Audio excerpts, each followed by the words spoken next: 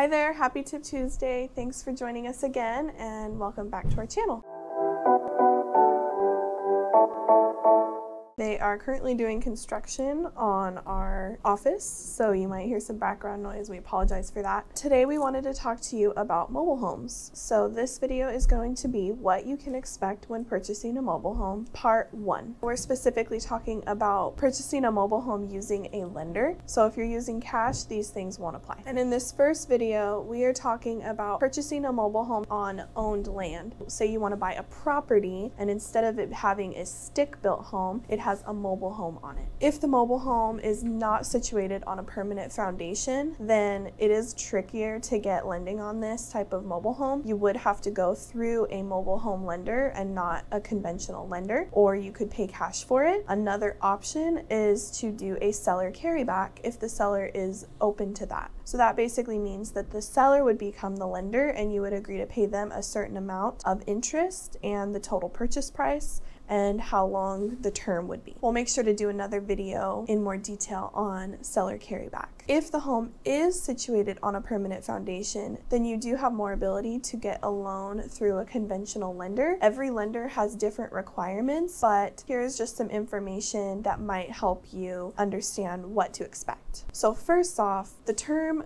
manufactured home and mobile home tend to be used interchangeably. But a mobile home is actually specifically one that is built prior to 1976. These homes were built with unregulated construction. After 1976, HUD, which stands for U.S. Department of Housing and Urban Development, HUD was then involved in construction regulations, and these are homes that are considered manufactured. The HUD regulated manufactured homes have specific rules for design, durability, and safety. So if the home was on a permanent foundation and it was built after June 15, 1976, so a manufactured home, then some conventional lenders can loan on it. Something you might want to be prepared for if you get pre-approved through a conventional lender to purchase a manufactured home on owned property is that the lender will most likely require a structural engineer report because they want to ensure that the foundation is secure. These reports can be ordered during your inspection contingency they would be paid out of pocket by the buyer, and a structural engineer report can be upwards of $500. So that is just some information for you to consider if you are thinking about purchasing a mobile home or manufactured home on owned land.